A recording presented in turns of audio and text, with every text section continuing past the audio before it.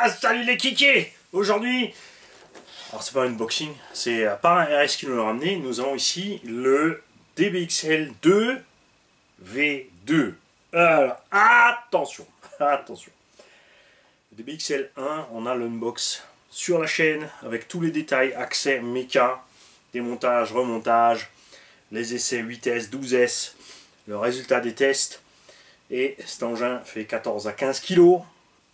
Il n'y a donc pas de mystère en vitesse. Tu as un problème d'autonomie. Alors soit tu restreins les performances, soit si tu veux rouler fort, eh ben, tu passes en 12. Si tu veux garder des performances correctes. 13 kg 100 à vide. Bébé. Donc en gros comme un Outcast 8S ou autre mais avec une transmission de bien meilleure qualité, des plastiques plus solides, euh, évidemment la cage qui pèse. Après c'est pas le même look, ça absolument rien à voir, je comprends tout à fait, moi j'aime les deux, j'aime le Outcast et j'aime celui-là. Euh, pourtant je suis content d'aucun des deux vraiment. Euh, voilà. Alors, le DBXL 2 est sorti avec toutes les modifs que nous avons tous demandé. Hein. on avait énuméré les tourelles le problème des diffs qui sont montés euh, dans des boîtiers de diffs intégrés dans le bulkhead, c'est-à-dire tu as un pied à gauche, un pied à droite, ton diff qui est au milieu. Il y a une petite languette à gauche, à droite pour l'arrêter. Sur les chocs, ça tournait, ça craquait, ça tournait avec. Et surtout les caravans avec des axes de 4, pour un engin de ce poids et de ce gabarit-là, là ils sont passés en axe de 5, puisque le Lozy 5 a les axes de 5, alors personne n'a compris évidemment pourquoi. La méca de ce DBXL est tellement différente du Lozy 5, le diff n'est pas au même endroit, euh, les éléments correspondent pas, les triangles sont plus courts et pas de même qualité, les amortos ont moins de débattement. Euh, pour un desert buggy, ça peut être dommage. On aurait vraiment préféré qu'ils prennent la, base du Lozy 5, et puis ma foi, si vous voulez faire un autre Anthrax, qu'ils changeraient l'Anthrax. Ça aurait été plus sympa. Moi, je préfère vraiment rouler le Lozy 5. Euh, après, il est encore un cran plus lourd, évidemment, que voilà, ça pardonne pas. Mais on a ici donc ce DBXL 2 V2 ici, et on va voir ce qui se passe dedans. La carrosserie, ils n'ont rien changé parce que ça, c'est ok. Euh, L'aileron, ils n'ont rien changé non plus, ça c'est pas ok. Euh, il casse très rapidement, ça n'a pas changé, il casse toujours rapidement. Euh, c'est inutile de dire ah, te fait bien rouler parce que de toute façon, à un moment ou à un autre, tu te casses la Primos, c'est inévitable. Ce qui nous avait surpris, c'est la solidité de la rampe de LED, ça n'a pas bronché, c'est clair. Euh, toujours pas modifié. Le thermique avait trois goupilles là à mettre. Et c'était super. C'était forcément un peu plus compliqué à enlever et à mettre la cage. Mais c'était génial. Parce que le DBXL, lui, n'a plus que. Le DBXL E n'a plus que un petit rail sur le côté.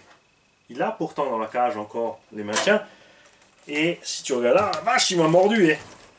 T'as l'autre qui m'a coupé. ah ouais, bah je suis pas content, je suis pas content, c'est pas la peine de mordre. Euh, donc un tout petit rail qui rentre là-dedans, ça sert pas à grand chose. Moi, dans retournement roulé boulet, même en roulant avec le flex du châssis, en fait, ça dégage. Et ça, c'est l'autre chose qui a été modifiée, le châssis. Le châssis est plus solide et il a reçu une platine de renfort. Parce que l'ancien DBXL, avec son propre poids, quand tu le lèves ou le poses, il banane. Évidemment, tu vas me dire, oh, mais t'as la cage. Ouais, mais tout ça, cette pression était dans la cage et tu finissais par rompre des éléments de cage. Donc ça, ça a été amélioré grandement. Euh, mais là, tu vois, ils ont coupé les tétons. Moi, je trouve ça couillon parce que si tu veux ça, il faut acheter un ensemble avec les, les cales, euh, les renforts de châssis. Et euh, ça coûte relativement cher.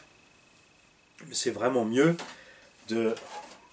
Il suffit d'écarter après la carreau, de passer sur les tétons, c'est dedans, tu n'es même pas obligé de mettre tes clips, mais ça tient vraiment beaucoup mieux. Moi j'ai préféré ça. Le Vario avant était posé là ou là, je ne sais même plus. Ils l'ont mis maintenant là au-dessus du moteur. Euh, ça c'est pas une bonne solution pour moi, source de chaleur avec source de chaleur, euh, je préférais que ce soit séparé. Mais s'ils l'ont fait, c'est pour avoir plus de place pour les bacs lipo. Ces bacs lipo qui font maintenant, grâce à tonton Pierre-Yves, nous allons savoir exactement, 165 mm. C'est déjà bien plus grand qu'avant. Euh, pour beaucoup de gens, c'est encore un peu trop petit pour cette taille d'engin. Il y en a plein qui aiment rouler, euh, par contre, les 4S 11000 Gen 6 là-dedans. tout à fait compréhensif. après en taille, en autre taille, tu trouves des 8000, 9000. Hobbit Center fait des 9000 et des brouettes en HV par exemple, qui pourraient bien aller là-dedans. Et malgré ces grosses batteries, cette grosse capa, avec ce poids, il n'y a pas de miracle. On a fait les vidéos, il n'y a pas que moi, il y en a plein qui l'ont fait pour vous le montrer. Si tu roules pépère, oui, tu atteins la vingtaine de minutes, mais en roulant pépère, alors pour les pépères, c'est pas la peine d'acheter un gros machin pareil. Dans un gros pré, tu n'as pas envie de rouler pépère, c'est justement là que tu as de la distance. Et tu vas pas acheter un engin comme ça sur un petit circuit. Euh, si tu allumes avec des 8S 6005, je suis pas le seul à avoir fait le test, ça se passe entre 6 et 8 minutes avant que tes batteries soient à une température critique. Voilà, donc c'est mortel. Bien sûr, la technologie batterie a évolué, ça va un peu mieux. On me dit, le quart d'heure, tu peux le faire. Mais en été, c'est pour ça que beaucoup d'entre nous passent en 12S. On descend à 500 kV, on met 12S, et là, t'es tranquille. Euh, c'est dommage que cet engin ne se vend pas en roller, parce que ce qu'il faut savoir, c'est que le combo 12S n'est pas plus cher que le 8, c'est un mythe. Et euh, l'autre truc, c'est que tu peux te permettre de mettre des batteries moins chères. Les 6S sont plus chers que les 4S parce qu'il y a plus de cellules, mais tu peux te permettre de prendre des batteries avec un taux de C moindre ou des batteries plus standards que des batteries haut de gamme. Et euh, résultat, c'est donnant-donnant, surtout sur l'autonomie après. Moi, avec un pignon de 13 en 530 kV avec le combo 12S, euh, je roulais plus vite que la version d'origine. On avait 10, euh, bon 10 km de plus et on atteignait 20-25 minutes contre 8 à 12 minutes avec l'origine. Là, tu vois un petit peu les différences. On n'est pas les batteries qu'il y a maintenant. Hein. Voilà. La direction aussi, c'est un point qu'ils ont changé. On n'était pas content du tout avec la direction. Là, ils ont mis un support qui peut tenir deux cerveaux. Alors, est-ce que c'est vraiment utile étant donné qu'il y a des cerveaux de nos jours de 70 à 130 kg ou un cinquième? La réponse est oui, pour des raisons mécaniques. En fait, si tu mets deux cerveaux, ton effort mécanique est réparti sur deux sets de pignons. Donc, moins de chances de casser les cerveaux. Il y en a qui préfèrent vraiment avec deux. Moi, j'aime bien qu'un seul, bien balai, ça va bien. Donc, on verra ce que ce cerveau d'origine. Enfin, non, on verra pas, parce que vais t'expliquer tout ce que par RS, évidemment, on veut faire avec. Hein. On a euh, des bielles de liaison qui sont balèzes. Comme maintenant, on a les tourelles en alu, on n'a plus le flex qu'on avait là quand la suspension travaillait. Donc, on a une meilleure suspension déjà sur cet engin. Ils ont changé les ressorts encore une fois parce que là c'est pareil, sur les biens on n'était pas super satisfait. Et ils ont aussi ajouté encore un renfort de châssis de plus à l'arrière. Les roues sont restées les mêmes. Donc standard à 5 avec du bedlocks, euh, relativement dur ces pneus. Alors euh, dans l'herbe ça se passe bien parce que tu n'as pas trop de grippe. Sur le goudron ça va bien. Euh, dans le sable ces pneus sont pas à l'aise. niveau endurance, faut faire gaffe aussi. les miens avaient éclaté. Je sais plus si c'était en 12, c'était déjà en 8, je crois que c'était déjà en 8. Après, attention, on était à l'effort, je dis pas. Je pense que j'avais percé le pneu. Il n'aurait peut-être pas éclaté. Donc résultat maintenant avec ces tourelles alu et ces autres ressorts, la suspension est bien meilleure qu'avant. Hein. c'est clair, c'est beaucoup beaucoup beaucoup mieux. Et j'arrive, je serre l'écrou parce que il était desserré de ce côté. Parrain RS a plein de projets avec cette machine. Alors, pour les amoureux de ce qui se passe en dessous, voici ce qui se passe en dessous. Bah rien, c'est en châssis. Euh, toujours peinture noire. Vu que c'est absolument pas un traitement durci de surface ou quoi que ce soit, je ne comprends pas pourquoi ils s'obstinent à le faire en noir, parce qu'ils auraient pu le laisser couleur alu. Euh, c'est bien moins moche après roulé si tu as une rayure alu sur alu que le châssis qui va, qui va se rayer à mort. Ça se délave aussi. Si tu prends un produit nettoyant trop balèze, euh, la peinture s'en va. Donc pour te donner un peu la qualité de la chose, par rapport euh, sur les châssis au techno, etc., ou euh, de la team TLR. On aurait bien aimé un châssis euh, team TLR là-dessus, c'est sûr. Les cales de train immenses en alu, qui posent un problème et qui poseront toujours un problème ici. Moi j'avais mis des skids parce que beaucoup d'entre nous sont restés accrochés là. ça beau être du 5 mm, c'est du 60-61 tout simple, donc ça peut se tordre. À l'avant, non, tu vois, il est coincé dans le châssis, ça c'est super. Là, évidemment, tu es en compression contre le triangle, ça se passe moins, mais là, tu es en ouverture du triangle et tu peux l'arracher. Il y a évidemment de grosses barres stables dessus. Et tous les détails suivants, comme dit, tout, tout ce qui est méca, on n'en va pas en causer aujourd'hui parce que c'est dans la vidéo unbox du DBXL1, c'est exactement la même chose. L'axe méca pour atteindre le diff, séparer les demi-bulkheads et ouvrir le diff. Donc des gros diffs avec des grosses dents. Euh, là-dessus, on n'a pas de problème. Et une grande différence encore de ce V2, hormis euh, maintenant l'électrique Spectrum avec euh, tout le tralala, machin, l'AVC et la télémétrie, tout ce qui ne nous intéresse pas là, ce sont les roulements étanches. Il a reçu les roulements étanches partout et de meilleure qualité parce qu'ils ont bien noté qu'on a tous écrit pour aller au sujet des roulements d'entrée de diff qui posaient problème, qui lâchaient rapidement et qui amenaient une destruction du diff. Ou au moins on l'endommageait. C'était pas sympa. Et c'est tout ce que j'ai à dire. Maintenant, sur l'engin, on va passer donc à tout ce qu'on va faire à cette machine-là il y a une chaîne allemande qui s'appelle Schwabentech, S-C-H-A-W-B-E-N,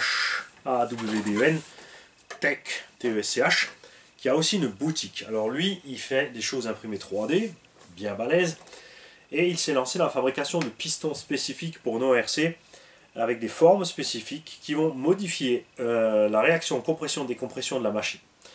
Ce qu'il a constaté par exemple que sur une suspension dans le tout-terrain qui travaille très vite comme ça, au bout d'un moment, le véhicule commence à sautiller parce que la suspension ne remonte plus assez vite, euh, sous l'effet euh, de pression dans l'huile et de l'émulsion, tout ça, et on perd de l'adhérence. Donc il a développé des pistons à ce sujet, qui sont en forme conique, ils n'ont plus de trou dans le piston, l'huile passe pas dans le trou, ils ont trois empreintes qui touchent les parois, et l'huile passe entre la paroi et le piston.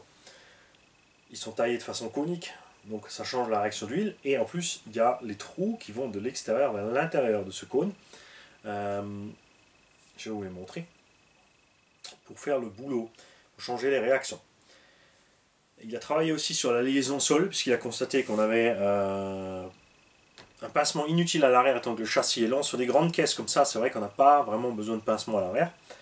Donc il a, lui, il préconise d'utiliser les cales d'axe de train arrière pour les passer à l'avant pour diminuer l'effet de sous-virage de l'engin. Parce que ça, vous l'avez vu sur les vidéos aussi, il est pas très... Il est maniable, mais il y a quelque chose avec, euh, avec cette direction justement au niveau du sous-virage et le cul qui fait pas toujours ce qu'on veut. Et en, simplement en, en, en, faisant l'inversion de ces cales, euh, lui, il nous a dit que ça allait beaucoup mieux. Il nous a fait la démo en vidéo. Il a fait aussi le test après que justement j'avais fait le test pour montrer que effectivement 6-8 minutes tes batteries elles craignent quand tu roules vraiment, quand tu veux te faire plaisir comme un huitième en fait. Si tu roules cet engin comme un buggy, un 8, euh, là tu as rapidement un souci de batterie. Euh, et donc il a fait le test et il arrive exactement aux mêmes conclusions. Il a dit c'est quand même délurant. Après avoir vu les tests en 12S, il s'est dit merde, qu'est-ce qu'il nous fait lui? Et il a mis le 12S et il a fait bah, c'est vrai, il a raison. Et je vous parle de lui parce qu'il a fait un site internet, donc il fait donc ses cales, ses pistons. Enfin, il travaille sur différents modèles, les uns après les autres, hein, sur, surtout la grosse échelle, la MCD RR5, LMCD, LMCD Ultima 5, euh, le DBXL, euh, les Losi Rockray et Super euh, Bajaret. Donc il travaille sur les pistons, les angles de train pour que ce soit un peu plus idéal. il a vu aussi par exemple que entre le V1 et le V2 du DBXL 2.0, ils ont Losi a bossé et euh, ils ont diminué les jeux qu'on avait dans les trains. Parce qu'avant, on avait euh, vraiment les trains, en fait, sorti la boîte, il y avait énormément de jeux, vous savez que moi ça ne me dérange pas. Il a quand même constaté une nette amélioration. Euh, moi, j'avais pas le 2 version 1 en main, je peux pas vous le dire. Ah, par contre, c'est sûr que par rapport au V1, euh, ça n'a rien à voir, il y a vraiment moins de jeux. Donc à voir. Et il fait donc un kit de conversion en 12S, par exemple, pour ceux qui le veulent, tout complet, tout est livré avec les pistons, les huiles. Ça, c'est sympa quand même. Il fournit les huiles avec euh, pour les trois diffs. Euh, les trois diffs. Pour les amortos et tout le reste. Alors, attends que je m'en sorte un petit peu dans tout ça. Donc, on va installer dans cette machine un cerveau JX 70 kg. C'est un des deux cerveaux survivants du Raminator. Euh, donc Badger Prime à l'RC, puisqu'un des deux est mort, l'autre non. On a de la part de RC Car Online ici, le support pour mettre l'autre variateur dessus. Parce que ce qui va aller dessus, c'est ceci. Un ZTV Beast Pro 300. Il est mouse, c'est vrai, c'est dommage qu'il est aussi gros ce Vario. Il te le livre pré-câblé en EC8 avec les cos moteurs aussi déjà dessus. Parce que le kit conversion 12S pardon vient de RCK Online, c'est le reste qui vient de chez eux. Et eux ils vendent ça avec un moteur 5612 surpasse. Euh, donc 520 euh, kV. Perso clairement, euh, moi c'est Léopard 530 kV ou rien. le seul que je vais encore essayer c'est le surpasse 8 pôles. Celui-là je sais qu'il est moyen vraiment franchement. Et il livre avec un pignon de 16, ce qui est assez délirant, puisque, sachant qu'avec un pignon de 13, j'étais déjà plus rapide que le combo d'origine, là, du coup, tu vas vraiment plus vite en 12, mais tu n'économiseras pas plus de carburant, c'est assez étrange. Chez Schwabentech, tu trouves aussi de la graisse spéciale, qu'il apprécie pour mettre dans les diffs, je ne l'ai pas encore ouvert. Il m'a dit, tu vas voir, ça tu vas adorer bouge pas. un petit tournevis. J'arrive les kikis.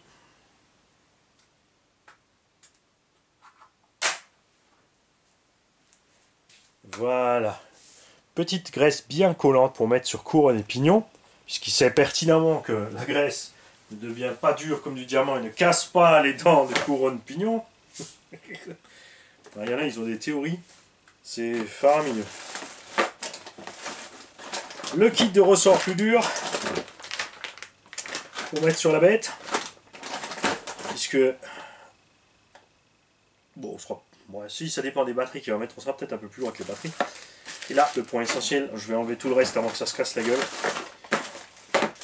Ah, aussi.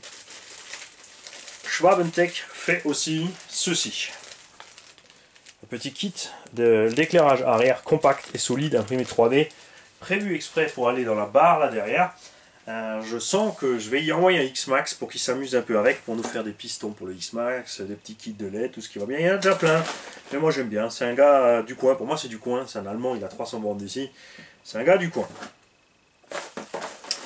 Accessoirement, il est euh, à peine à 20 minutes de chez ma soeur, donc à un moment on va y aller. Hein. On va lui faire un petit coucou, on va se faire un petit bâche ensemble. Ah voilà, les voilà, c'est ce que je cherchais. L'autre chose qui développe aussi, de façon à ce que ce soit pratique à monter n'importe où, n'importe comment, ce sont des capacitors packs, donc des condensateurs pour les fortes charges, accélération, freinage, tout ça. Là, on en a un de 10 000, j'ai oublié le nom de l'unité. Et voici donc le nom de son entreprise. Schwabentech une entrée et une sortie, parce qu'il faut faire le... Si tu veux euh, en empiler plusieurs en fait. Vous allez voir, si vous allez voir sa chaîne, il a une chaîne YouTube aussi, je vais vous donner les, liens, je vais les mettre euh, en dessous de la vidéo. Il appelle ça le Boost Cube, tu vois, c'est mis tout propre, c'est bien emballé dans, le PLA ou, autre chose. Comme dit, l'impression 3D, c'est pas mon rayon. Donc facile à utiliser, facile à installer, facile à brancher. Et ça, c'est super. Il fait donc un MCD en 12S vous pouvez acheter directement RTR chez lui, déjà full équipé avec tout ce qu'il faut. Avec les pistons à bord, le combo 12S, euh, le Vario Flyer par contre là-bas sur le lot.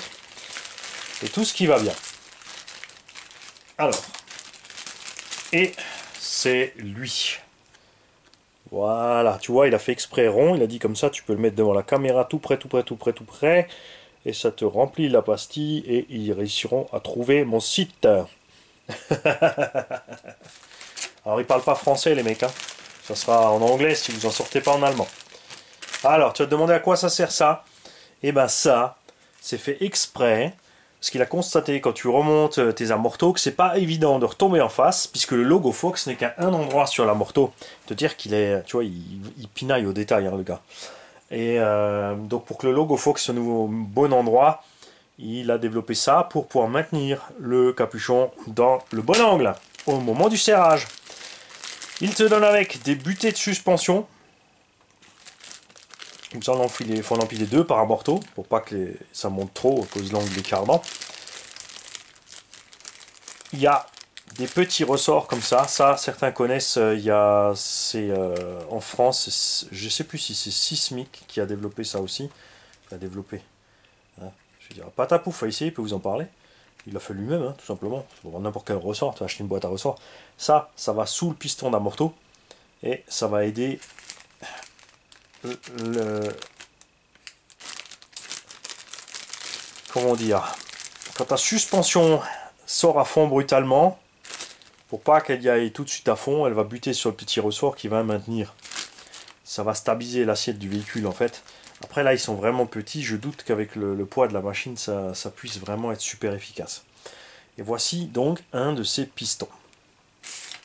Et il t'en livre 8 en 4 cases. Ces pistons, pas de trou, tu vois on va toucher ici, ici et ici le corps de l'amortisseur. Et l'huile va passer sur le rebord. Et comme tu peux le constater, ils sont donc bien coniques. Et là, tu as donc une perforation qui te rejoint au milieu ici euh, pour peaufiner la variation de pression. J'ai pas encore testé ça, je l'ai vu en statique chez lui, euh, je l'ai vu sur l'essai du MCD euh, RR5 en 12S. Euh, dans la pelouse, il, passe exprès 2-3 sauts pour bien le montrer et tu vois vraiment que la réaction de la, suspension est différente par rapport à l'origine. C'est clair, t'as vu, je t'ai dit, il m'a mordu, c'est pas une blague. Donc on va installer tout ça là-dedans avec ce combo 12S. Euh, on fera pas l'essai en 8 puisque par RS a déjà vu rouler en 8, il sait très bien, il est habitué aux grosses échelles et il sait pertinemment que en 8S avec ce poids là vous avez vu les, le, là où il roule, hein, c'est très grand. Et euh, résultat, il n'a pas envie de, faire 6-8 minutes là et d'avoir peur pour ses lipos et de pas s'amuser. Il aime faire des grandes distances, donc il lui faut l'artillerie lourde dedans. C'est pour ça qu'on passe en 12.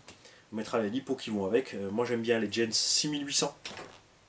Franchement, euh, je suis super content avec dans, les engins de cette taille là. C'est pour ça qu'on avait passé aussi donc le Arma Outcast. en vous l'avez vu, on l'a roulé en 8. On a dit différents setups, différentes tailles de moteur. Euh, c'est suffisant. Il y a de la patate aussi, mais c'est la patate, elle est en bas pour ceux qui ne sont pas habitués, mais en haut, il n'y a plus rien. Et donc, quand tu fais les sauts, c'est un peu chaud. Et comme dit, dès que tu allumes, dès que tu commences à allumer, autonomie. Euh, ne vous y prenez pas sur mes vidéos. Euh, vous avez vu sur les essais du Coralie Skater, il y a plein qui n'ont pas compris que je fasse que 10, 12, 15 minutes avec les lipos. Euh, eux, ils font 20, 25, 35, 40 minutes. Euh, mais vous avez sous-estimé la taille du terrain et le fait que, comme il va pas super vite, je suis tout le temps à fond. Je suis tout le temps à fond. J'ai gâchette à fond tout le temps et ça, ça consomme. L'engin fait 5 kg, il y a un tout petit moteur de 68 mm, il n'y a que du 4S à bord. Euh, tous ceux qui ont de l'expérience RC le savent très bien. Euh, suffit aussi d'aller sur le circuit de leur demander parce que sur en GT8 avec des moteurs de 68, les mecs, ils roulent un peu plus, ils roulent plus vite. Hein. Mais un abonné qui me dit, moi je roule à 88 et je fais quand même 25 minutes.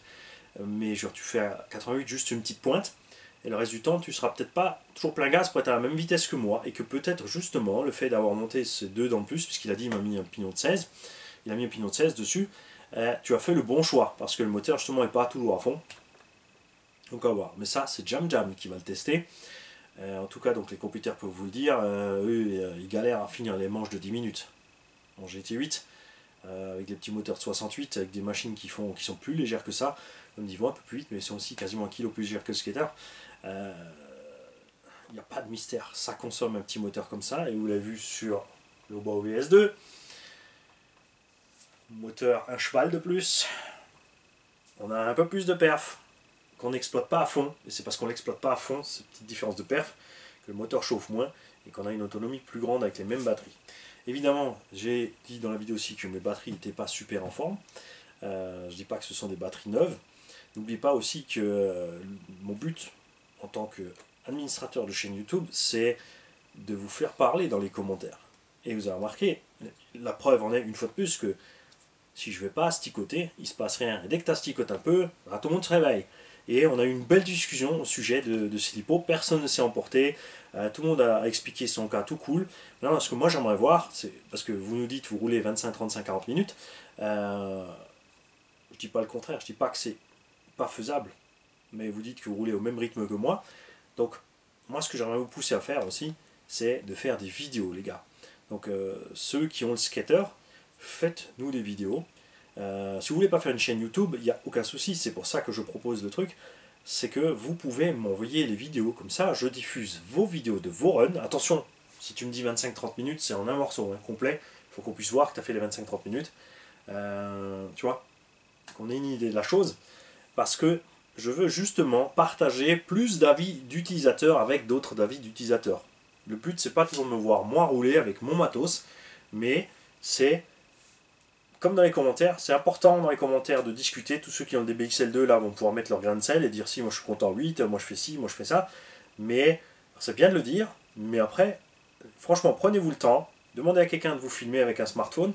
Euh, les smartphones ne font peut-être pas des séquences complètes de 20 minutes, ils vont faire des boucles de 5, mais faites vraiment passer toute votre batterie, tout, votre run en entier. Vous n'êtes pas obligé d'être dessus, ni celui qui filme. Vous faites plaisir, vous roulez normal, comme si rien n'était. Vous laissez filmer la personne, et vous nous envoyez les images. Comme ça, nous, on peut partager ça avec tous les utilisateurs dans la playlist du DBXL2. Tu vois, comme ça, ils auront la version Mani qui roule à 8, en vitesse comme un bourrin et cool, qui est arrivé à 6-8 minutes avec des 6005, un quart d'heure en roulant éco, euh, et en 12S 25-30 minutes, avec plus de Vmax, plus de puissance. Comme ça, chacun peut se faire son idée. Ah oui, moi, le 8 va me suffire, parce que moi, je veux pas faire plus que ça. Et d'autres diront, non, moi, c'est vrai que si j'ai un engin comme ça, je veux le rouler comme un Divani, je veux le rouler comme un Buggy, un 8, tu vois. Je veux que ça ramone un petit peu, donc je vais me diriger vers le 12, etc. C'est important, c'est pour partager les avis, les sources euh, de... Parce que si on a les vidéos, ça parle mieux que des mots. C'est con, hein. C'est pour ça que j'ai fait une chaîne YouTube et pas. Pas un comment on appelle ça, un forum.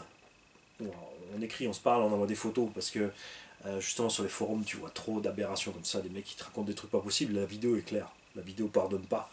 Euh, si tu une vidéo d'un morceau en 25 minutes où tu roules tout le temps à fond avec ta caisse sur des lignes droites de 200 mètres, euh, c'est clair. Waouh, il l'a fait. Tu vois? Si tu, tu, roules 3 minutes et tu dis ouais, l'autonomie est de 20, personne va te croire. C'est comme ça. Et euh, comme dit, moi ça me fait plaisir parce que j'ai asticoté, j'ai provoqué, je sais qu'il y en a qui aiment ces machines, c'est tout à fait normal. Euh, et euh, ils sont tous arrivés tout cool. Et ça, c'est du super boulot. C'est génial. Les mecs, continuez comme ça. Je veux voir plus de ça. Je veux voir plus discuter entre vous dans les commentaires et dispatcher votre bonne humeur et vos impressions sur la machine et vos expériences avec les caisses sur les vidéos dédiées ou sur d'autres vidéos, c'est pas un problème. Tu peux aller sur la dernière vidéo en date, tu peux aller sur la vidéo du unbox, tu peux aller sur une vidéo d'essai pour le signaler. Euh, tout ça, c'est toujours bienvenu. Je vous attends les mecs. On va pas faire l'installation 12S ensemble pour une raison très simple. Je vais enlever le support là. Deux vis et une vis derrière. Trois vis. Je vais enlever le cache du pignon moteur. Deux vis. Je vais enlever le moteur. Deux vis le aussi. Hein. Donc on est à 5 aussi ici, plus 5 là, 10 vis. Je vais sortir mon câble qui se promène euh, là, il descend là, il va en dessous, il va dans la boîte radio. Je vais poser tout ça à côté. Je vais monter le Vario ZTV, on va évidemment faire la découpe qui va bien pour qu'il rentre. Euh, non, je crois qu'ils l'ont mis là, je sais plus, je verrai avec le support. Je vais y mettre le moteur, et vous le verrez fini. Et quand par RS aura le temps de passer et nous voir, et, ou que j'ai le temps d'aller avec lui, donc en Suisse alémanique, avec un Suisse alémanique, la vidéo sera donc en allemand. C'est tout à fait normal. Tu te contenteras des sous-titres qui sont super folkloriques. Euh, même dans la vidéo allemande, normalement, de temps en temps, je parle un petit coup en français. Hein je peux pas tout faire, les mecs. Et même si je pouvais, j'aurais pas forcément envie. Mais ce serait vraiment, euh, comme on dit, euh, j'ai le mot allemand en tête maintenant, du coup, que je disais la vidéo allemande. Euh, euh, pas correct quand même, de ma part, d'avoir d'être dans un pays alémanique avec un alémanique et de lui causer en français qui se démerde avec. Tu vois? Lui, en plus, le pire, c'est qu'il ferait l'effort d'essayer de vous parler français. Ça, tu vois? Alors, euh, il y a deux fois deux, trois remarques. Mais on a constaté que la personne qui a fait cette remarque, en fait, est un serial compliqué. Mais on en reparlera dans une autre vidéo du mois de mai. parce qu'on va démarrer une, série vidéo, enfin une fois par mois, peut-être, hein, on n'en a pas un par mois, mais on fera une vidéo qui s'appellera La couille de loup du mois de mai, juin, juillet, août, et on mettra euh, les commentaires euh, à la vidéo, les commentaires douteux ou qu'on trouve un peu cavalier ou un peu agressif. Et, euh, parce qu'il y en a qui confondent la franchise et l'arrogance. Et le jugement hâtif surtout. C'est là qu'il faut mettre les doigts, les gens qui jugent. Vous savez qu'ici, on n'aime pas les gens qui jugent. Je ne juge personne, ne me jugez pas. Ne jugez pas les autres et ils ne vous jugeront pas non plus. Surtout, vous allez voir que le coup du loup du mois de mai, ah, c'est un bon. Ah ouais. Ah, ah mais là, je taquine parce qu'évidemment, on attend. Il n'est pas bloqué sur la chaîne, on attendra son retour. Peut-être qu'il pourra s'expliquer, dire Ouais, ce jour-là, je suis désolé, j'ai de mauvais poil. Alors, et là, à ce moment-là, par contre, Adios. ceux qui ont donc le DBXL 2, vous vous signalez. Euh, ça c'est le V2. Donc ceux qui ont le 2 ou le V2, ceux qui ont eu les deux, qui peuvent parler un peu plus des différences et des similitudes, allez-y, lâchez-vous. Euh, si quelqu'un a besoin de ce combo, euh, qu'il me mail sur sega68 à gmail.com parce que en fait par un RS il sait pas quoi faire parce qu'il va mettre le 12 parce qu'il roule tous 5 5 en 12 et 10 vitesses parce que, comme je l'ai dit, il est habitué aux grosses échelles, et il a clairement vu que la différence est flagrante. Et il sait pas quoi faire de ce combo. Après, il est un peu comme moi. Hein. Ah, j'ai une vis qui traîne. Faut que j'achète une voiture. Allez les mecs, je vous laisse. Il y a ma Gigi qui est rentrée. Alerte générale, il faut dégager. Salut